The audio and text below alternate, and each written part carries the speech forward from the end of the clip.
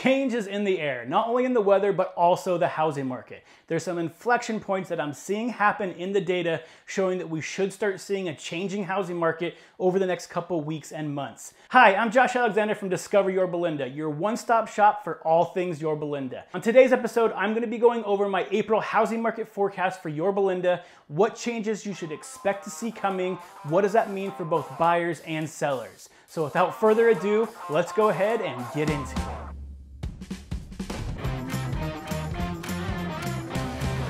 Okay, so we're gonna break this episode into four different sections. First, we're gonna go over some Yorba Linda specific data.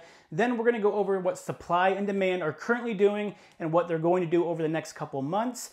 And then we're gonna talk about interest rates, which is what everybody's talking about right now. And finally, we're gonna wrap up with what that all means for both sellers and buyers. So let's go ahead and start with some Yorba Linda specific stats. So let's go ahead and look at some of the stats from the March housing market in Yorba Linda. So on the low end, the least expensive home that sold in Yorba Linda was $425,000.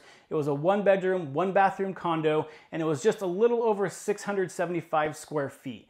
And on the opposite side of the spectrum, the highest price home sold for $3.25 million, and that was a four bedroom, four and a half bath home, which was 4,373 square feet. Now, because it's still early April, I don't have all the data for the off-market homes that have sold in Yorba Linda. However, from the homes on the MLS, the median home sold in Yorba Linda was sold for $1.265 million. So now let's go ahead and look at the days on market. So that's the day it goes on the market to the day it goes into escrow. So if you look at homes under a million dollars, those homes typically went into escrow in 12 days or less.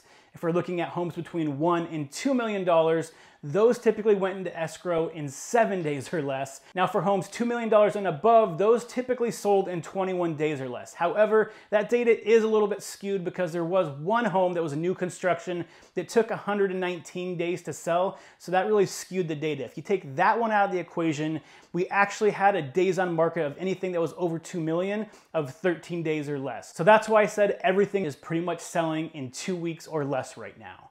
Now, in terms of the active inventory we currently have available as of April 5th, we only have 31 homes on the market right now. Typically, we have at least double that, if not more, so inventory is still extremely low. So let's go ahead and look at that inventory and look at some supply and demand numbers. So let's go ahead and start with the supply side first. So supply is still at historic lows. We haven't started off April with this low supply in Orange County in over 40 years. So needless to say, there's just not enough homes to go around. Right now, there's just barely over 1,500 homes on the market, and that really hasn't changed much in the last four weeks. However, during April and May, we typically see the most amount of homes per month hit the market. So I am expecting to see those homes gradually increase as the weeks go on as we head closer and closer into summer. Okay, so now let's look at the demand side of things. So unfortunately, for the last two years, demand has been extremely hard to measure correctly. And the reason being is the traditional way that we measure demand in the real estate market is how many pending sales that we have every single month. So how many homes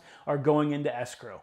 The problem with that is for every home that goes into escrow, right now there's probably four, six, eight, ten buyers that were lined up to purchase that same home that didn't get it and are now unaccounted for. So it's a really skewed measurement when looking at pending sales because demand is so much higher than what's currently in escrow because there's just not enough homes to go around. So really the only thing that we're able to do is look at future demand and the way we do that is by looking at mortgage applications. So how many new buyers are talking to lenders getting those mortgage applications started for them to purchase a new home. And over the last two months, we've been seeing the trend develop that mortgage applications in general have been heading in the downward direction. So as interest rates have been going up, you've been seeing that direct correlation. Mortgage applications have also been decreasing. So that's basically telling us over the next couple weeks and months, we can expect to see demand start to slow down. And that's pretty typical for this time of year. So typically, most years, demand is gonna peak anywhere between April and May, and then it starts its slow decline as we go through the remainder of the year. So I think we're gonna have that same trend happen. I don't think we've hit peak demand yet. However, over the next week or two, I wouldn't be surprised if we did reach peak demand, and then we start seeing that demand slow down as we head into summer. And again, besides just the typical cycle that we see in demand every year, another thing that's really contributing to that demand going down is interest rates. So unless you've been living under a rock, you probably know by now that interest rates have been accelerating relatively quickly this year, especially over the last six weeks. So since the beginning of this year, we started interest rates right around 3.31%. And as of today, which is April 5th, we just crossed over for the average interest rate on a 30-year fixed mortgage to 5.02%. So we haven't been at over 5% interest rates since at least 2018. So as interest rates go up, affordability goes down, so less buyers are going to enter the market. So that's naturally going to weed some of the buyers out that might have been able to afford a home, but over the last two months have really been priced out of the market. So if you're thinking of buying a home or you're selling a home and then thinking of buying another one, you might be asking yourself, yes, interest rates have gone up, but how does that actually really impact my affordability and what I'm paying every month? So let's look at a quick example just to see what a dramatic difference there is when you compare buying a home at the beginning of this year compared to buying a home home now. So let's go ahead and say in January of this year, you were looking at homes right around the million dollar price point. Interest rates were at 3.31%, and that brought your payment, if we're just looking at principal and interest to make this easy, right around $4,155. Now, if you were trying to buy that same million dollar property today at today's interest rate of 5%, guess how much your monthly payments would be? They would be $5,111. That's over $950 more every single month that you're paying today compared to buying that same million dollar property a couple months ago. Now let's look at this a different way. So let's say you're looking at the payments and not the purchase price. So let's say you're trying to keep your payments right around that $4,155. So again, at the beginning of this year, that would have given you the ability to purchase a home at a million dollars. If you look at that purchasing power today, trying to keep that payment the same, you're only able to afford a home that's around $815,000. That's a dramatic difference on what you could afford at the beginning of the year compared to right now with those same monthly payments. And the sad part is that's not even including appreciation, which we've had a lot of over the last couple months. If you add appreciation into the equation, you're gonna be at home prices less than $800,000 at this point. So you went from $1 million purchasing power to less than $800,000 purchasing power in just a little over three months. That's a dramatic difference, and you can see how this is going to impact the amount of buyers are gonna wanna purchase homes as we finish the rest of the year. And interest rates are only projected to continue to rise. Recently, the Fed has become more and more aggressive of trying to battle the inflation that we're having, which just means that there's a much better chance that interest rates over the long term are gonna be heading up and not down. So that's definitely something that you need to be taking into account when you're thinking about buying a home this spring or summer.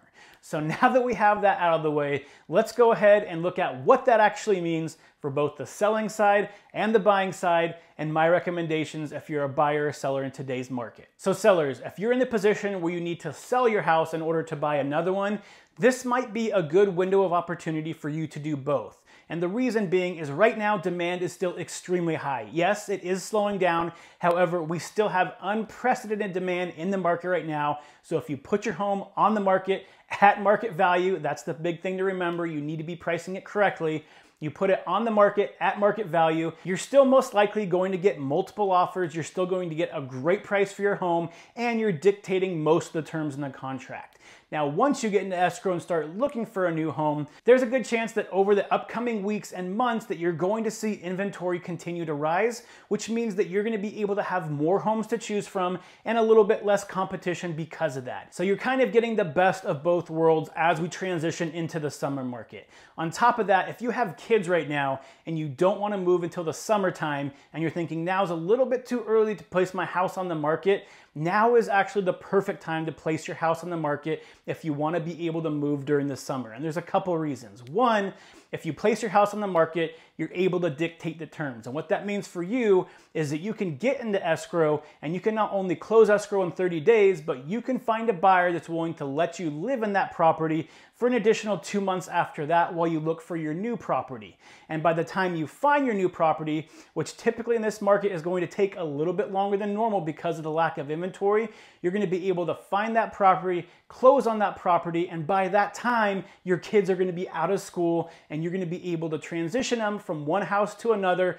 without having to worry about schoolwork getting in the way and being disturbed in the middle of the school year. So if you're thinking about trying to transition from one house to another during the summertime because you have kids or just because you wanna move in the summer, now is going to be the perfect time to get your house on the market to take advantage of the current demand, as well as be able to start looking for new homes hitting the market at a more rapid pace as we get towards the end of April into May. Okay, so now for the buying side. Yes, if you're trying to buy a home right now, it's pretty depressing that interest rates have shot up so significantly. You're probably kicking yourself in the butt for not trying to purchase a home sooner in order to lock in those low interest rates. However, if you're a typical home buyer, you're not someone that's just a speculator trying to figure out and time the market, you're buying the home for the long term, you shouldn't be trying to time the market. You shouldn't be looking at the interest rate level. You should be looking at your monthly payments. Is it affordable? Can I make those monthly payments without putting financial stress on myself and my family? And can I get into the area that I want to be in with the amenities I want for that price? If the answer is yes and you're buying that home for the long term, then yes, right now is still a great time to purchase a home because interest rates are still projected to go up, appreciation is still happening. So if you're going to wait for a few more months and then get in the market, you're just going to be able to afford less and you might price yourself out of the market in the meantime. Now, if you aren't buying a home for the long term and you plan on only living there two to three years, then right now you do have to be a little bit more cautious because interest rates are going up, demand is starting to slow slightly, so you need to be cautious when placing your offers. You don't just want to be throwing out offers that are 50, 100,000 over asking price, over market value, because as we go further into summer, appreciation is going to finally start slowing down as long as we see this inventory finally start hitting the market. And when appreciation slows down, if you overpay for a house, it's going to take you longer to be able to make up that difference. So if you're in the home for the short term, you have to be very cautious about placing offers right now or financially to get into the area that you want to be in, you know that you're going to have to take on a mortgage It's going to be uncomfortable, now is probably not the best time to purchase a home for you. You don't want to get to a spot where you're house poor, where all of your money is going to that monthly mortgage payment and you have no money to do anything else. No one wants to be in that spot. It's not an enjoyable lifestyle. So you need to understand your finances before you start looking at purchasing a home. Know what you can afford, know what you're comfortable with, and know that you're not going to have issues paying that mortgage down the road. Yes, lending standards are much stricter than they used to be, so typically you're not going to get a loan for a property that you're not going to be able to afford, but it's up to you, not the lender, to determine that. So you need to understand your financial situation before you start placing offers on homes. Now let's say that you don't believe myself or any of the major housing economists in the United States that the housing market is going to continue to appreciate, and you think the housing market is going to crash. Well, lucky for you, last week I did a video on this exact topic and why it's still going to be a disadvantage for you to wait to buy even if the housing market does correct versus buying right now. So if you're interested in getting that information, if you're watching this on YouTube, I'll post a link right up here. Otherwise, just check out my last episode and you can see exactly why waiting, even if the market does correct and goes down, is still most likely gonna put you in a worse spot than purchasing a home today. So if you're finding this information useful, please make sure you do hit that like button. It helps me out tremendously. And if you like this information, also don't forget to hit that subscribe and bell button below if you're watching this on YouTube. Until next week, stay healthy, stay happy, and I'll see you on the next show. Bye.